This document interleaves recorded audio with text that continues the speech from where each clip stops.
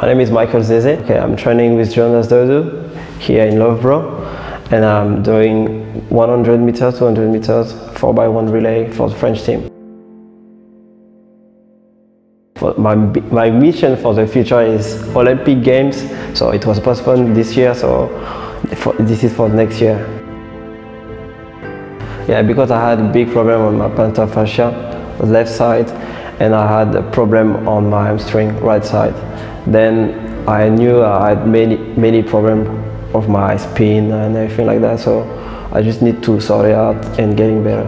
But now I knew more stuff on my body and everything goes well. Even when I, am training last week with Jonas, Jonas said, yeah, that's the first time I saw you running like that. So I get in big improvements from my stride length and from my power on the ground. So that's very, eh, I'm impressed about this right now because this is early in the on the, the season. But yeah I'm excited to compete again.